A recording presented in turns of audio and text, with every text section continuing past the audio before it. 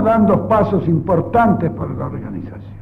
Fue entonces cuando pudimos pensar en organizar los elementos necesarios para poder establecer un equilibrio perfecto entre el costo de la vida y los salarios que se pagaban. Comenzamos por formar lo que llamamos el Instituto de la Remuneración, que funcionó en trabajo y previsión y que estudió localmente, como también desde un punto de vista general, los salarios con relación al costo de la vida. Y nos dio un índice para poder establecer lo que nosotros llamamos entonces el salario vital móvil, es decir, una base debajo de la cual no podía estar ningún trabajador porque estaba sumergido, es decir, porque no ganaba lo necesario para hacer frente a un costo de la vida. Ese fue el punto de partida, ya en 1948-49, desde Trabajo y Previsión. Fue así que se fue estableciendo paulatinamente ese equilibrio. Equilibrio que se refleja perfectamente bien en los porcentuales, en la distribución de la renta y en la distribución de los beneficios.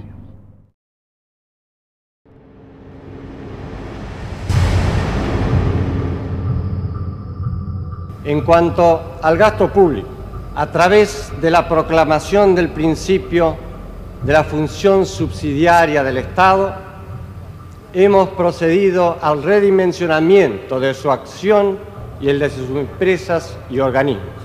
Por un lado, hemos procedido a la reorganización y racionalización de la administración pública, teniendo en cuenta la rigidez y la inercia que sus estructuras proyectaban. Hemos logrado una sustancial reducción del número de agentes públicos, desde algunas empresas del Estado que han disminuido dicho número en alrededor de un 30%, como los ferrocarriles, con cerca de 50.000 agentes, y IPF, con 15.000.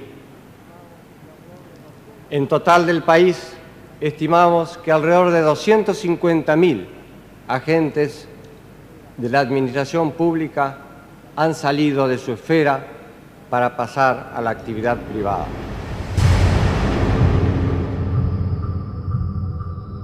Desearía simplemente recalcar la importancia del concepto y de la acción de la privatización periférica, que significa que en aquellos casos donde la empresa, por ejemplo, de servicios públicos, no puede privatizarse por falta de interesados en tomarla, se realicen, esa empresa estatal realice la mayor cantidad de servicios y de obras a través de contratos con empresas privadas.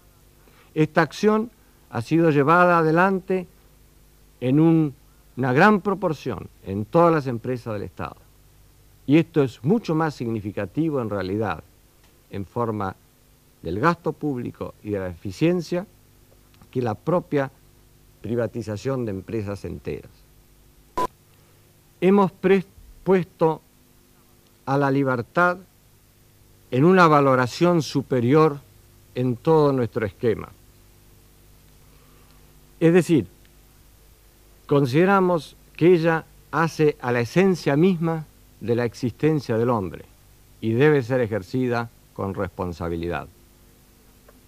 De allí deriva el acento que hemos puesto en la libre iniciativa individual, en la importancia de la empresa privada en el esquema productivo del país y en la eliminación de la excesiva estatización o intervención del Estado y regulación de la economía.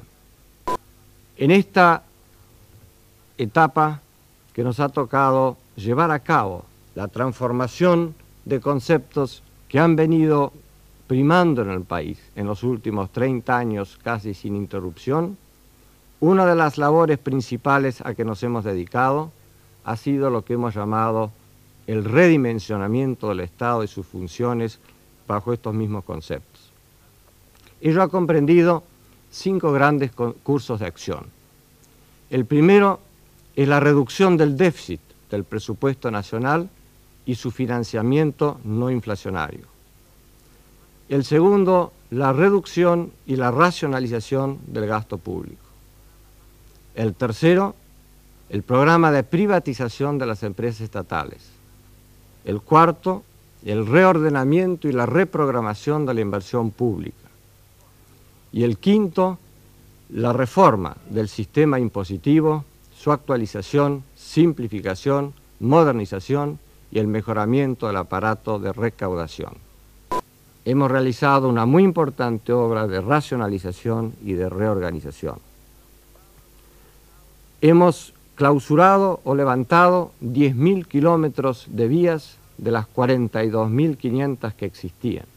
O sea, esto es una redacción de aproximadamente un 23%. Hemos también clausurado mil de las 2.400 estaciones. Esto significa haberlas reducido en un 42%. Hemos también reducido en la mitad los 30.500 trenes kilómetro hora de pasajeros que funcionaban en el país. Y en cuanto al personal de la, de la empresa ferrocarriles del Estado, ha disminuido de los 156.000 que se encontraban al comienzo de nuestra gestión a 96.000 en la actualidad. Esto implica nuevamente una reducción de aproximadamente el 40%. Hemos encarado la transformación de todas las grandes empresas de servicio público pertenecientes al Estado en nuestra área. La mayor parte de ellas han sido transformadas en sociedades de capital para ponerlas en condiciones de accionar con la agilidad de la empresa privada pero también con la responsabilidad de la misma. Es decir, les hemos exigido que lleven balances e inventarios que antes no tenían y se desconocía su verdadera situación económico-financiera. Les hemos exigido a la par que paguen impuestos, eximiéndolos o eliminando todas aquellas excepciones impositivas de que antes gozaban, para que puedan y deban aprender a operar con eficiencia al mismo tiempo que con responsabilidad. Y las hemos apoyado en el otro sentido, en el de que el precio de sus servicios o de sus productos no esté afectado por conceptos políticos, sino que esté en el nivel dado por el mercado. Para que los argentinos pensemos qué clase de país y de vida queremos. También consideramos que hemos puesto las bases, que hemos realizado las principales transformaciones y que luego, con la prosecución de este esfuerzo, con perseverancia, con disciplina y con firmeza, el país en el curso de los años siguientes podrá confirmar esta acción y lograr la plena realización de los objetivos que nos hemos propuesto.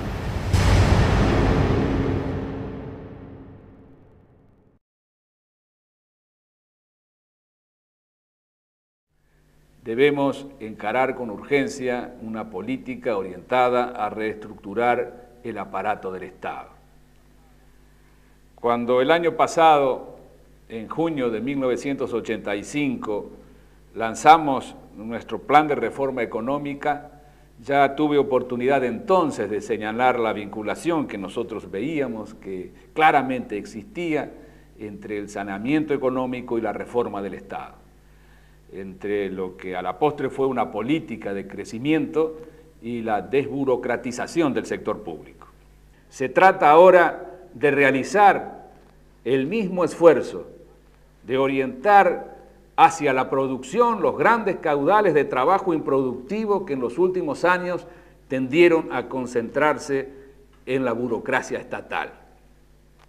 Todos sabemos que uno de sus resultados más negativos, como decía recién, ha sido simplemente la ineficiencia, derivada en buena medida de la multiplicación artificial de funciones que a veces intentaban justificar la sobrecarga estatal de esos recursos humanos.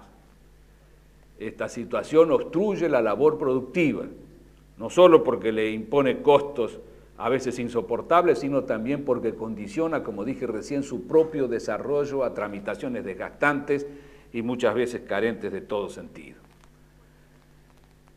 Los esfuerzos, pues, en que nos encontramos todos comprometidos, este esfuerzo en que se encuentra comprometido el país para la construcción de una democracia estable, moderna, participativa y solidaria, no pueden estar desvinculados de un particular empeño en superar la ineficiencia y la irracionalidad del sector público.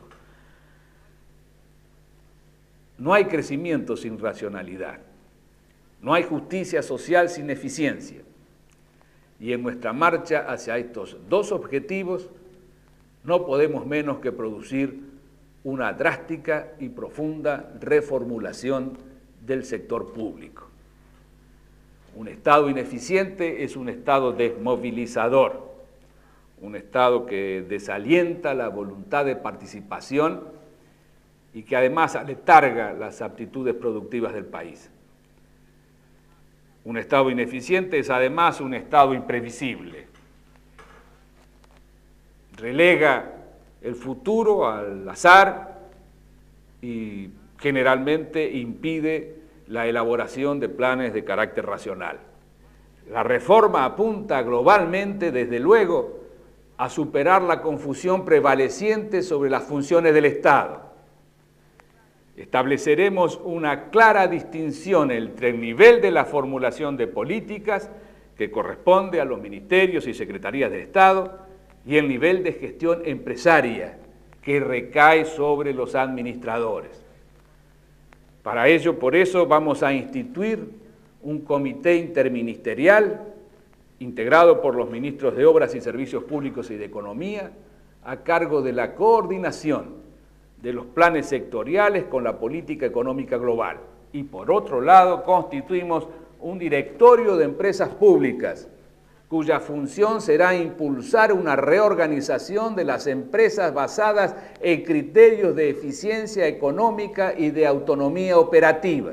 La nueva política a aplicar en las empresas del Estado, un proceso paulatino de desregulación con vistas a un alineamiento de los precios, al análisis de los costos, a la aplicación de la mejor tecnología en consonancia con criterios económicos de rentabilidad y de eficiencia. Es decir, vamos hacia una transformación fundamental.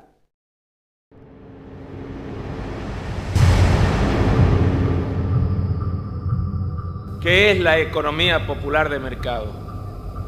Es un concepto que resume nuestras más preciadas banderas actualizadas a la luz de los tiempos que corren. Una economía popular es aquella que respeta el interés nacional y la justicia social. Una economía de mercado es la que resume el ejercicio legítimo de la libre iniciativa individual y comunitaria. Su funcionamiento se basa en un principio elemental. La economía debe funcionar con tanta libertad como sea posible y con la menor regulación que sea necesaria. Lo necesario al Estado, lo posible a los particulares el bien común a todos y a cada uno de los argentinos. La economía popular de mercado rescata la tradición de libertad económica que ha traído la mayor prosperidad al mundo. Combina las experiencias históricas exitosas del desarrollo económico universal con los principios valorativos del cristianismo. Les confieso, como despedida, cuáles son mis sueños en esta hora histórica para la nación, en esta celebración del Día de ustedes, del Día de los Industriales, del Día de la Industria.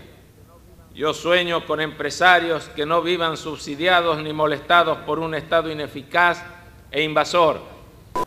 No olvidéis nunca, concluye Juan Pablo II, que lo realmente peligroso son las tentaciones que pueden acechar vuestra conciencia y vuestra actividad, la sed insaciable de lucro, la ganancia fácil e inmoral, el despilfarro, la tentación del poder y del placer, las ambiciones desmedidas, el egoísmo desenfrenado, la falta de honestidad en los negocios y las injusticias hacia vuestros obreros.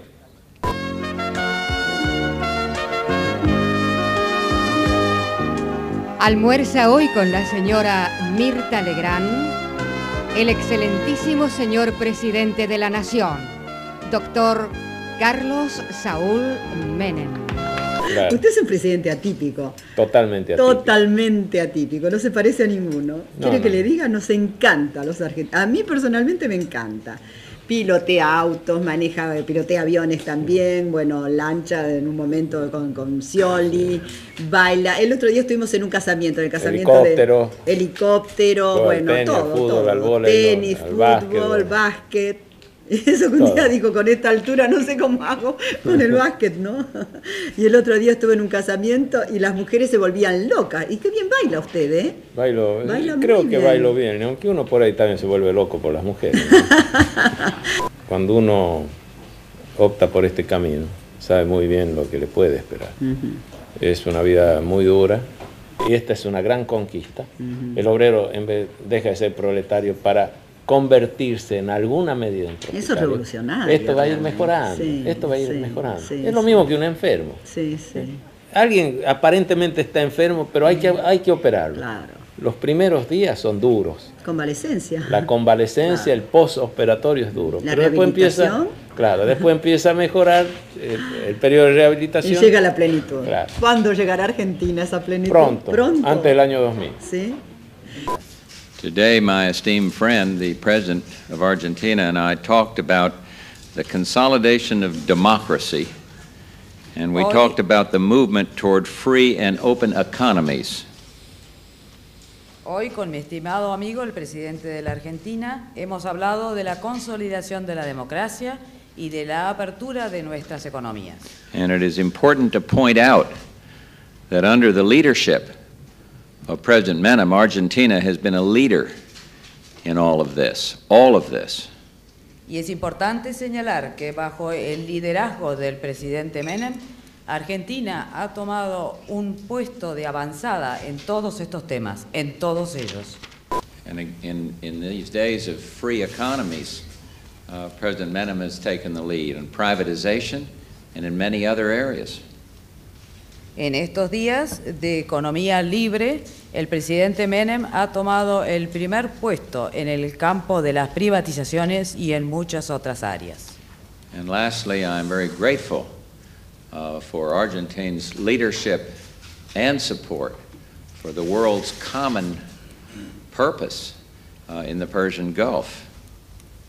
Y al mismo tiempo agradezco también el liderazgo y el apoyo de la Argentina al esfuerzo mundial que se está realizando en el Golfo Pérsico.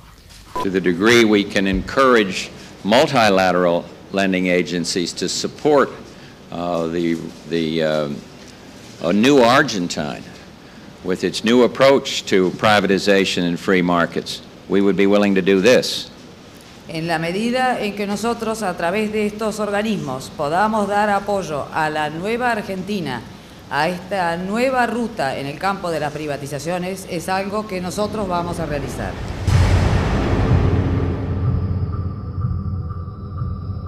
La recaudación total del trimestre ascendió a 6.800 millones de dólares.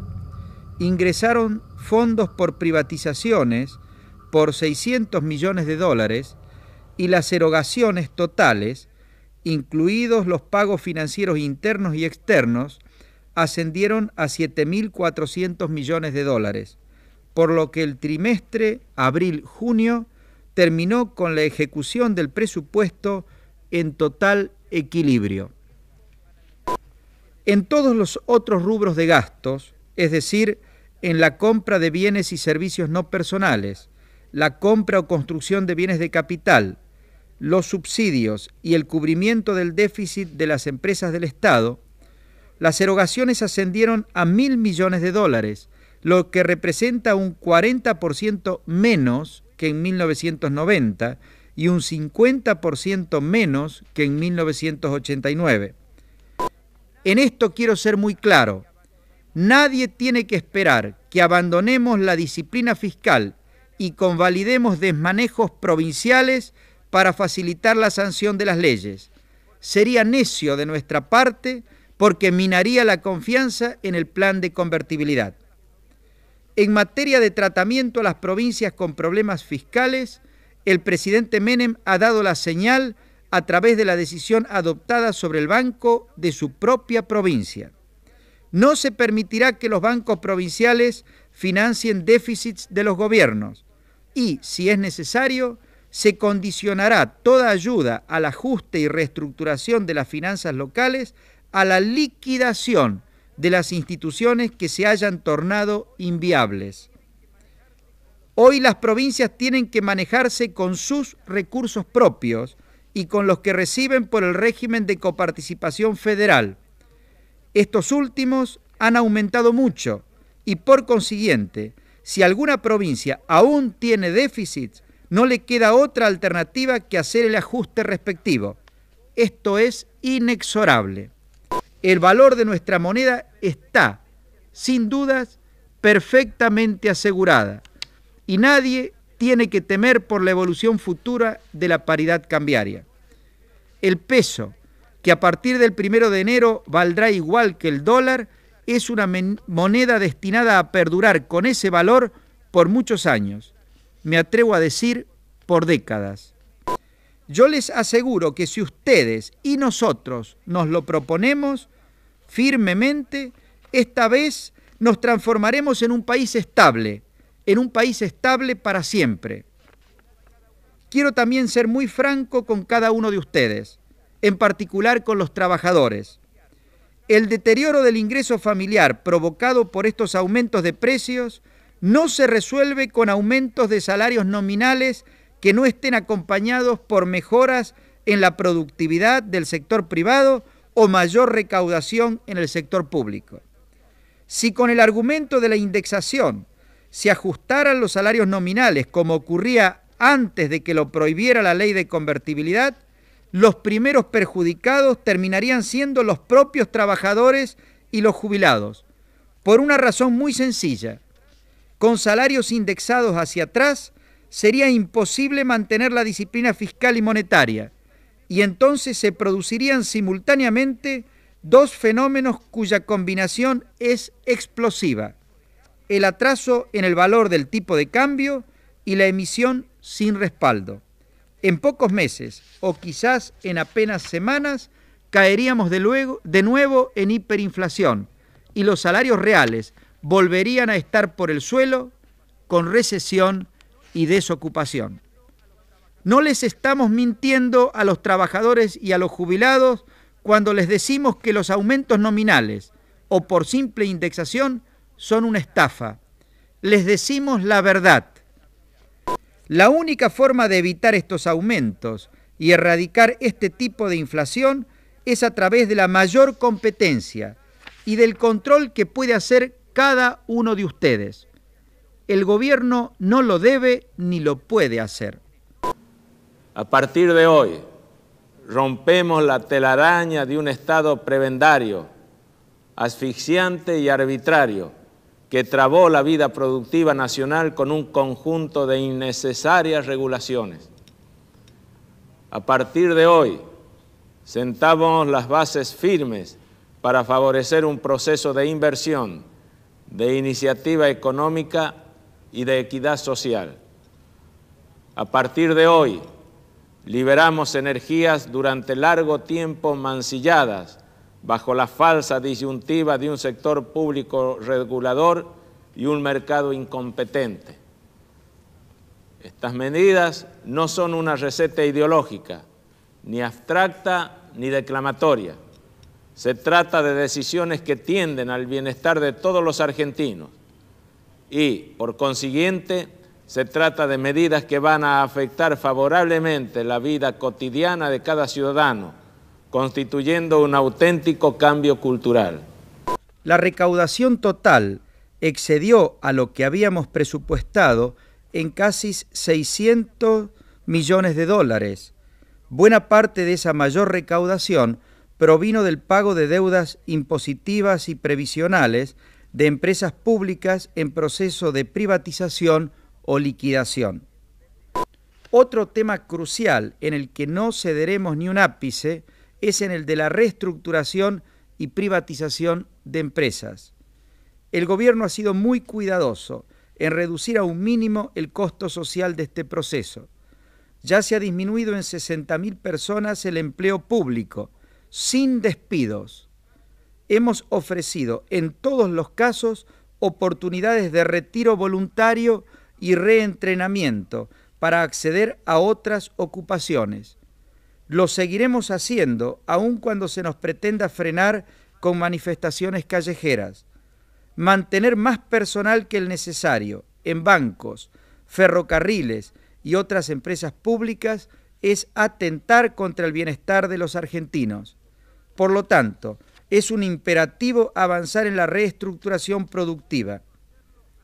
Estamos intentando hacerlo a través de retiros voluntarios y no de despidos pero tenemos que hacerlo inexorablemente. Por eso exhortamos a que los trabajadores ocupados en estas actividades sobredimensionadas evalúen correctamente la posibilidad de aprovechar el retiro voluntario y buscar otra inserción laboral.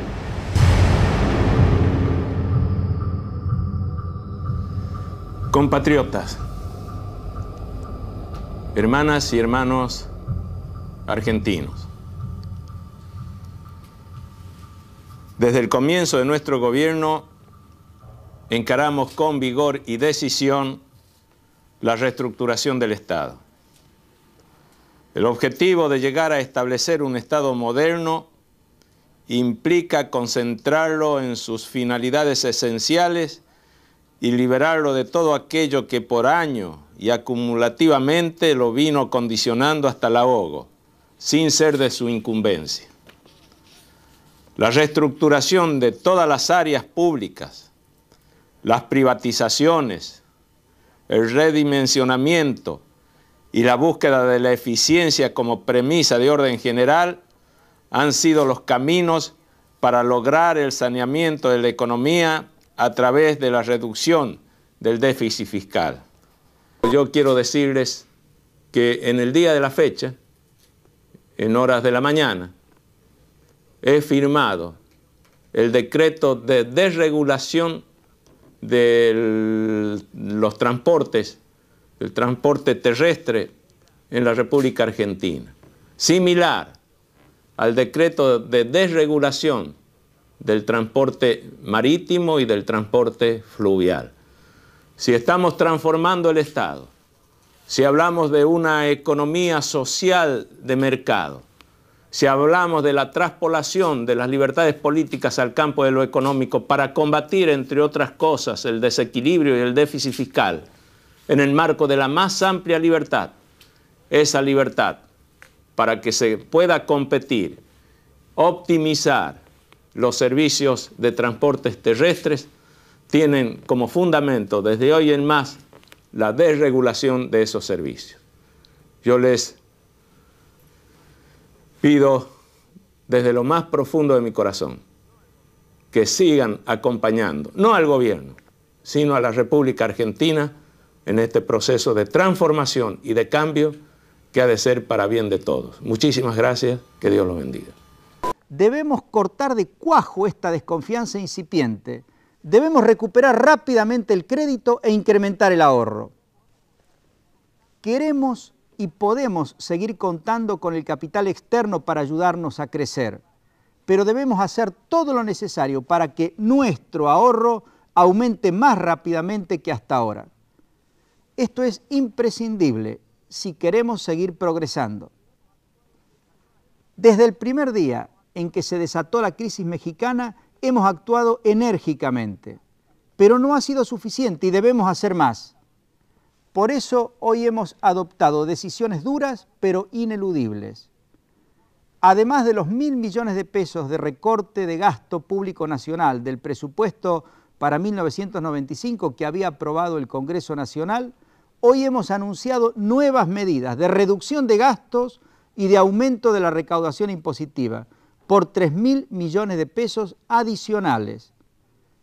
Estas medidas son imprescindibles para asegurar que consigamos la meta de equilibrio presupuestario durante 1995, porque en enero y febrero la escasez de crédito y una peligrosa tendencia al aumento de la evasión impositiva han mantenido la recaudación en niveles bastante inferiores a los que habíamos previsto en el presupuesto. Si no adoptábamos las medidas que hoy hemos decidido, corríamos el riesgo de incurrir en un déficit fiscal de 3 mil millones de pesos, y esto hubiera acentuado la desconfianza y hecho imposible la recuperación del crédito. Las medidas adoptadas significan austeridad extrema de parte de todos los funcionarios públicos. Es muy importante que estas medidas del gobierno nacional sean acompañadas por los gobiernos provinciales y municipales. Debemos anticipar algunos inconvenientes porque hemos tenido que cortar gastos que de ninguna manera son superfluos y hasta reducir sueldos medios y altos en la administración pública. Necesitamos también gran responsabilidad por parte de los contribuyentes. Ofrecemos simplificación impositiva y facilidades de pago, pero seremos implacables en el castigo de la evasión. No se crean nuevos impuestos, pero hemos decidido introducir perfeccionamientos en los que hoy existen para aumentar la equidad y cerrar todas las vías a los evasores. Cada uno de ustedes recibirá en los próximos días la información pertinente. Pedir la factura y pagar los impuestos debe ser de aquí en más el principal acto de solidaridad social y preocupación por los pobres en lugar de rasgarnos las vestiduras y echar la culpa a los demás por la desocupación y la pobreza, todos debemos hacer un examen de conciencia y preguntarnos si pedimos la factura y pagamos los impuestos. En relación al manejo financiero de la población, de las empresas y de las entidades financieras, quiero darles a cada uno algunos consejos que considero importantes. Primero, a los ahorristas y ciudadanos en general en lo posible depositen en pesos para aprovechar las tasas de interés más altas que se pagan en nuestra moneda. No hay ningún riesgo de devaluación del peso, ni ahora ni después de las próximas elecciones presidenciales. A los que necesitan tomar préstamos, averigüen bien cuál es la tasa de interés que les piden y eviten endeudarse a tasas altas. Si les ofrecen crédito en dólares a tasas moderadas, no teman y acéptenlos. Sobre todo si de esa forma evitan endeudarse en pesos a tasas que hoy son extremadamente altas. De todas maneras, si pueden esperar, eviten endeudarse, porque todas las tasas, incluso las en dólares, son hoy demasiado elevadas. Traten de reemplazar sus necesidades de fondos mediante ahorro de gastos superfluos o postergables. el tercer pilar de este programa económico contiene medidas de aplicación inmediata para recuperar la solvencia fiscal. A diferencia de experiencias previas, se eliminan viejos y enquistados privilegios que la sociedad reclama corregir. Estas medidas implicarán un esfuerzo de reducción del gasto total y de exenciones tributarias por 2 mil millones de pesos en el año en curso, el que deberá ser compartido entre la nación y las provincias. el Estado Nacional encarará una reducción de gasto público de 890 millones de pesos.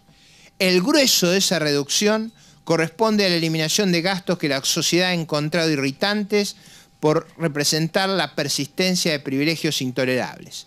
Esto incluye gastos en ANSES, tales como la eliminación de pensiones graciables injustificables y la eliminación de los abusos en asignaciones familiares.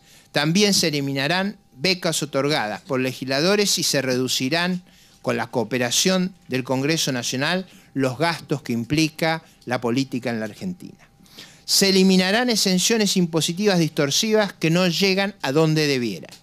El Fondo Especial de Tabaco, que tradicionalmente se ha concentrado en subsidiar a los grandes productores, será reasignado para financiar el presupuesto de educación de la nación.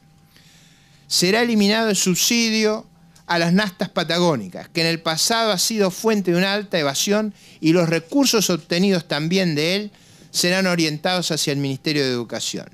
La eliminación de estos privilegios ha sido un objetivo recurrente de varias administraciones. Han sido intentos que han derivado consistentemente en el fracaso. ¿Por qué insisto entonces en una solución que ha resultado tan difícil? Porque justamente por la recurrencia de los intentos fallidos y por la consecuencia de recurrencia de los desequilibrios fiscales que enfrentamos, que hemos aprendido una dura lección, que la causa de nuestros propios fracasos es no encarar con firmezas estas medidas, tanto más necesarias cuando implican la eliminación de privilegios. En cuanto a las universidades, estas han recibido un aumento importante de recursos durante la última década, pasando de 919 millones en 1992 a 1.744 millones en el año 2000. Este año, para acompañar el esfuerzo fiscal, las transferencias a las universidades desde Tesoro no podrán superar los 1.440 millones de pesos, lo que implica una reducción de 360 millones respecto a lo presupuestado. Señores empresarios, señores periodistas, yo voy a poder explicarles los aspectos centrales de la política económica luego que juntos veamos la presentación del señor presidente de la Nación.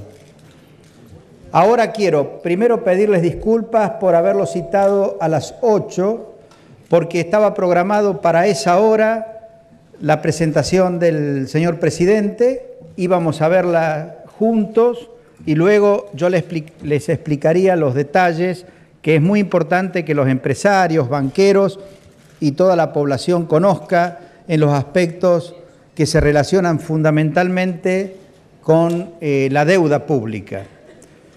Y solo voy a poder hacerlo luego de ese discurso. Mientras tanto, quiero decirles algunas cuestiones muy importantes para que este plan tenga éxito. Hace exactamente tres meses que en todos los ministerios y particularmente en el Ministerio de Economía estamos trabajando en los instrumentos legales y en todos los actos administrativos que eran necesarios para poder poner en marcha este plan de manera simultánea e integral. Ustedes lo van a poder apreciar mañana, cuando reciban el boletín oficial y vean el número de decretos y otros actos administrativos que fue necesario preparar para llevar adelante estos anuncios. Queridos compatriotas, llevamos años de profunda recesión y estamos al límite de lo que podemos resistir. Tenemos una deuda que nos dejó estancados de hace décadas, sin credibilidad, sin crédito y sin crecimiento, pero tenemos voluntad de cambiar. Desde todos los sectores políticos y económicos se venía pidiendo generar las condiciones para tratar la deuda pública. Esas condiciones se están dando en el plano internacional. Donde hay comprensión y predisposición para apoyar a nuestro país y resolver el problema de fondo. Pero somos nosotros, la dirigencia argentina, políticos, sindicalistas, empresarios, periodistas, los primeros que tenemos que reaccionar a favor de nuestros intereses. Pues si no logramos solucionar este enorme problema, no tendremos dinero para los planes sociales, las políticas de reactivación, la modernización de la educación o la vivienda. Estos días fueron decisivos para definir el paquete de medidas que afronten y resuelvan los problemas estructurales que tenemos. Pero había que encararlos a todos, porque todos están encadenados entre sí. Tenemos que resolver conjuntamente la crisis social, la crisis fiscal, la crisis financiera y la crisis de la recesión, dotando al Estado de la fuerza y la estructura que necesita para ello. Hoy la Argentina es un país sin crédito. No hay plata para la Argentina. Ni los bancos nacionales, ni los extranjeros, ni los organismos oficiales de crédito nos prestan. ¿Por qué? Por nuestra deuda, que venimos haciendo crecer irresponsablemente desde hace muchos años.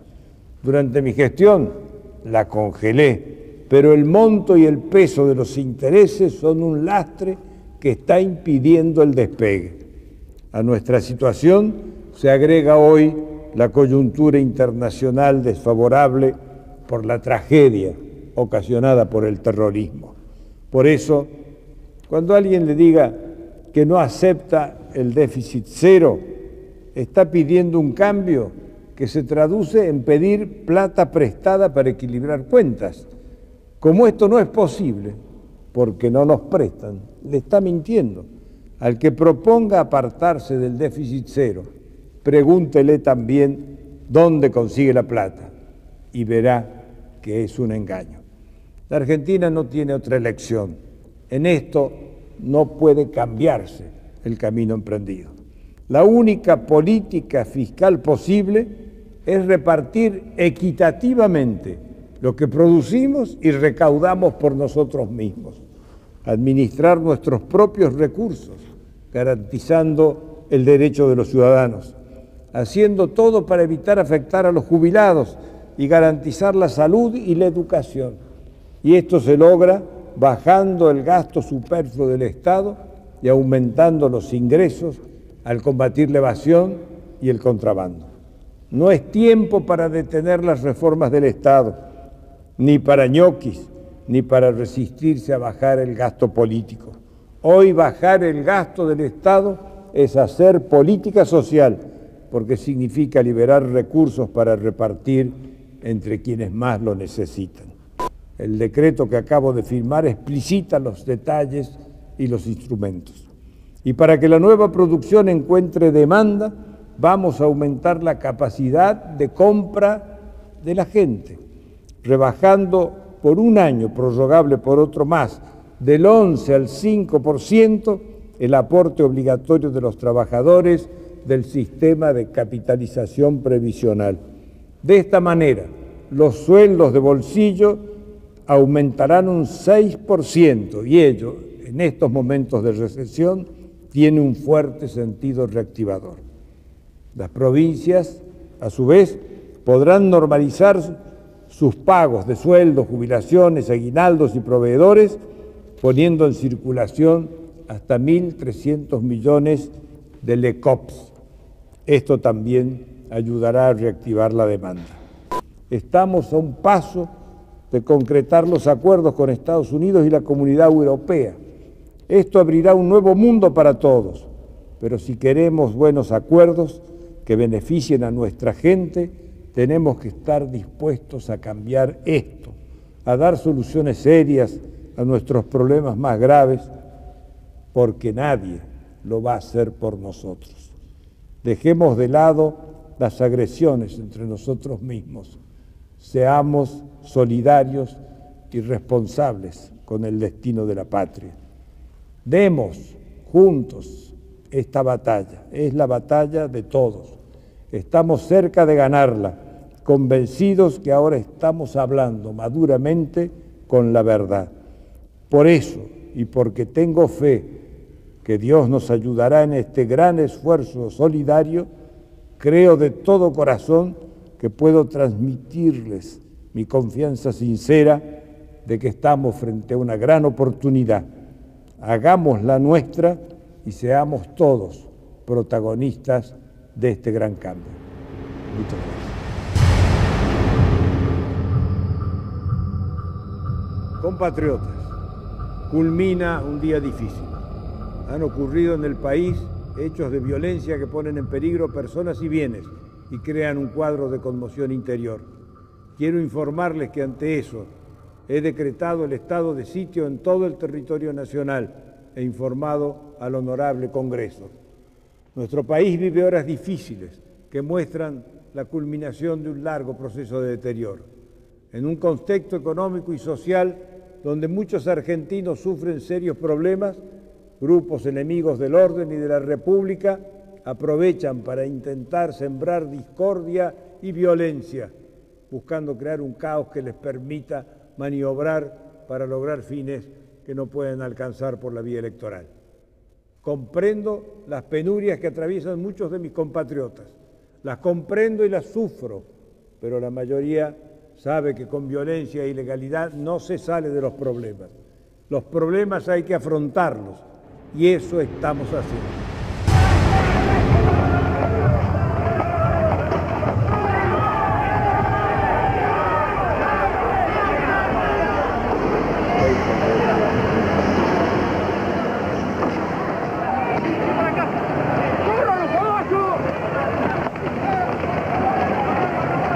...20 de diciembre de 2001. La mayor parte de las imágenes periodísticas del día se producen en el centro de la ciudad de Buenos Aires, pero la violencia alcanza a todo el país. La sociedad argentina estalla. Algunas escenas remiten a tiempos remotos, pero el siglo XXI acaba de comenzar. Desde hace días, distintos sectores sociales están movilizados, cada uno embanderado detrás de sus propios reclamos.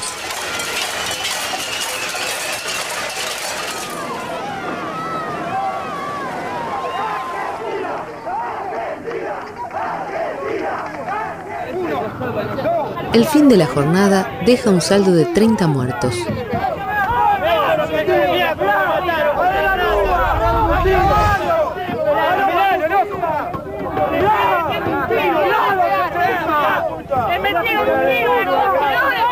Luego de renunciar, el presidente de la Rúa huye de la casa de gobierno.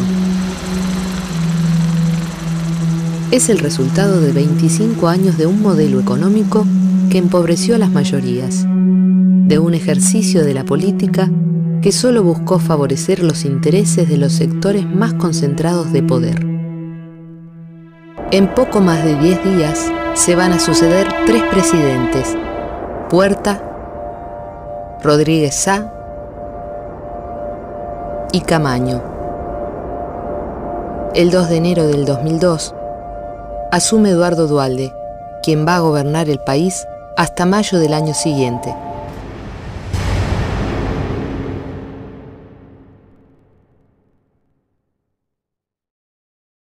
Uno de los principales desafíos que enfrentamos vinculados con el papel del Estado es volver a poner a la inversión en obra pública, en infraestructura, como una de las prioridades de la gestión estatal, considerando su capacidad de mejorar la calidad de vida, de motorizar rápidamente el nivel de actividad y generar mejor competitividad económica y social.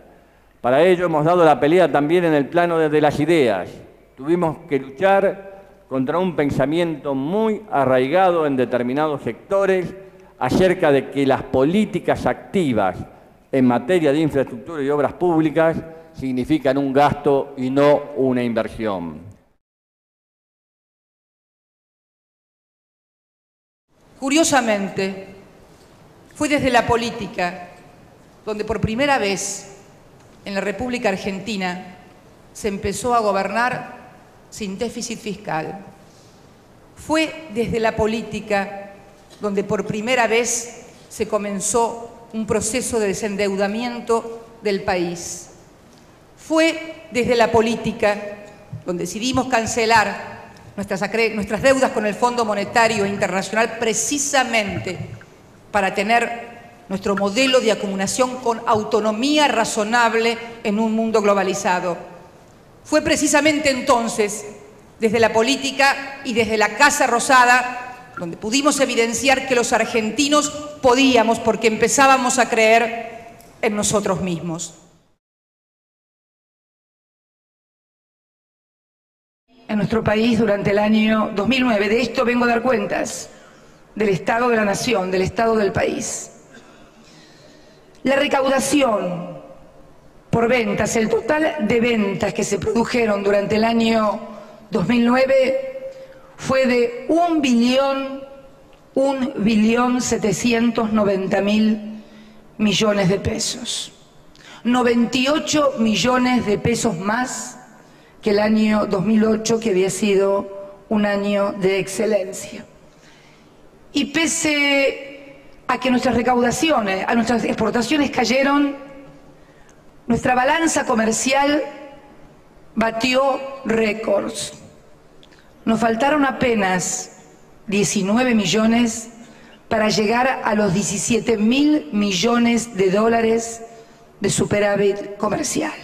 Esto no fue magia, esto no fue artilugio, esto fue simplemente gestión y una fuerte intervención de políticas activas del Estado a través de ayudas como el REPRO a muchísimas empresas, más de 100.000 trabajadores han recibido la ayuda del plan del Ministerio de Trabajo, a los incentivos que dimos durante todo el año en materia fiscal, en materia de reintegros, porque el objetivo que nos planteamos fundamentalmente frente a la crisis era evitar la generación masiva de despidos.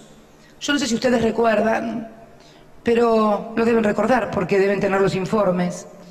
La Argentina virtual, la Argentina mediática nos hablaba, por ejemplo, de que no íbamos a recaudar en nuestra balanza de comercio exterior más de 6 mil millones de dólares, con lo cual iba a faltar dinero, dólares, para pagar nuestras obligaciones eh, contraídas.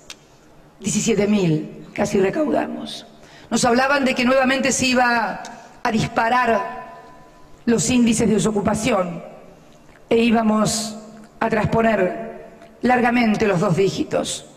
Terminamos el último trimestre del año pasado con una reducción de lo que había sido un aumento en el anterior trimestre y cerramos el año con 8.4 de desocupación.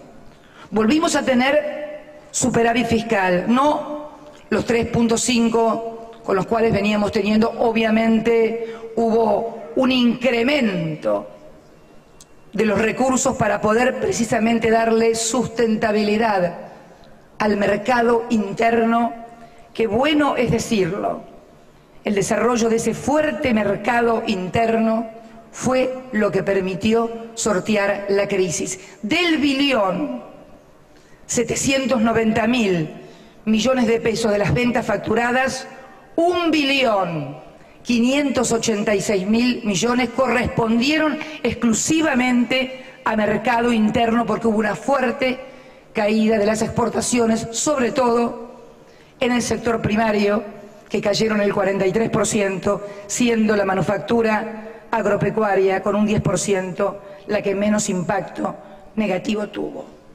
Todo esto fue posible no solamente por los instrumentos y políticas activas que desarrollamos durante este año 2009. Creo que se debió esencialmente a la solidez de un modelo económico y político que desde el año 25 de mayo desde el 25 de mayo del 2003, género, género, género las condiciones macroeconómicas que permiten que un país salga adelante. Hay algunas veces que Algunos creen que las cosas se dan individualmente o porque tienen capacidad o porque son emprendedores. Obviamente que el éxito de cada uno depende mucho de las propias iniciativas, pero para tener éxito en un país tiene que tener éxito primero el país y tener condiciones macroeconómicas que permitan a los emprendedores, a los que quieren invertir, a los que quieren progresar, que puedan hacerlo. Yo quiero, para no equivocarme, leerle algunas cifras de lo que significa la solidez de este modelo y cuál hubiera sido nuestra situación si esto se hubiera producido tal vez en otros momentos de nuestra vida política y económica del país.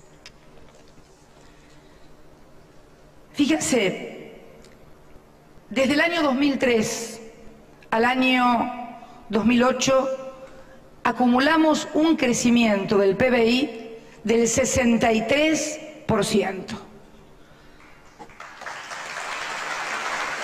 En el periodo, en el periodo comprendido entre 1993 y 1999, también conocido como periodo de la convertibilidad, la economía también había crecido, pero lo había hecho en un 24,4% y con una creciente expulsión del mercado laboral de millones de argentinos. Por eso sostenemos nosotros que no todo crecimiento económico es virtuoso, que el crecimiento económico para ser virtuoso debe generar empleo, debe generar nuevas empresas, debe generar disminución de la pobreza y de la indigencia. Ese es el crecimiento económico en el que creemos y por el que hemos trabajado desde el 25 de mayo del año 2003.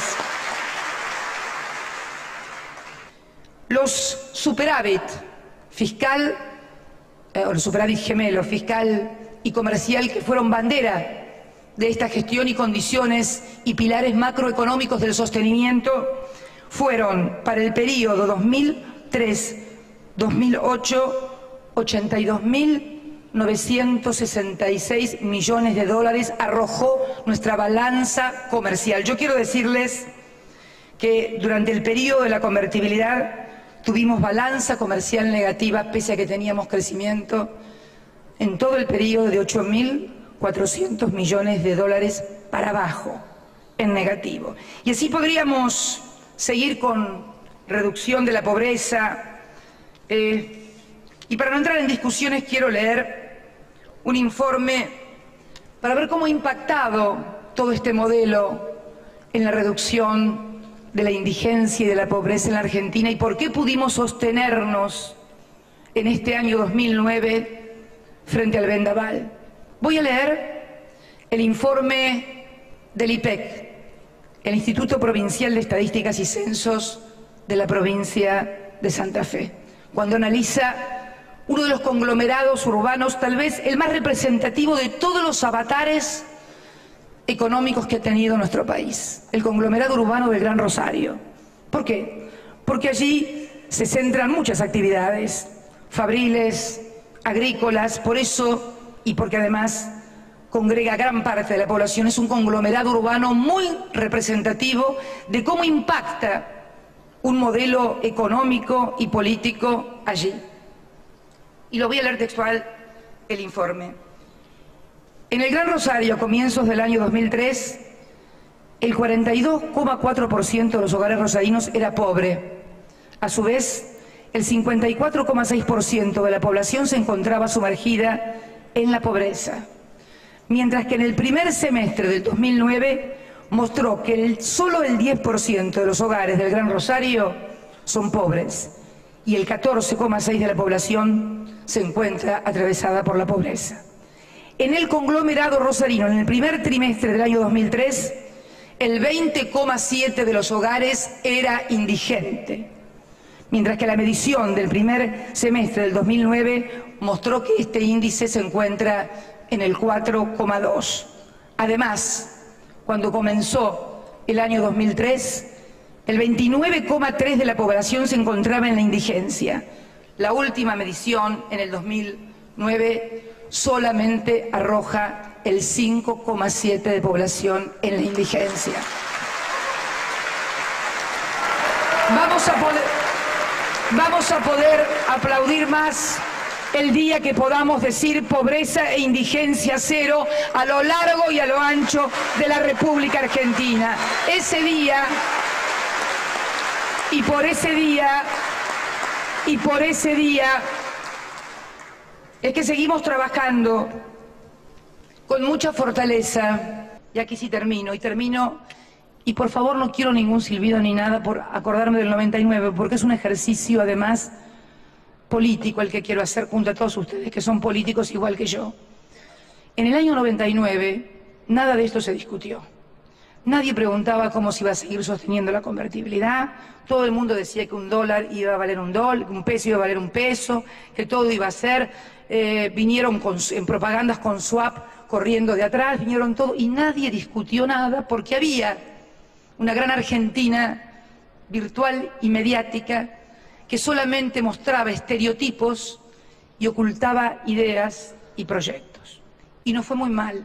A todos, a los que gobernaban, a los que éramos oposición, porque cuando estábamos en el Congreso ese día del 2001, la gente afuera no distinguía, decía, este es del gobierno y este votó en contra. Los quería matar a todos.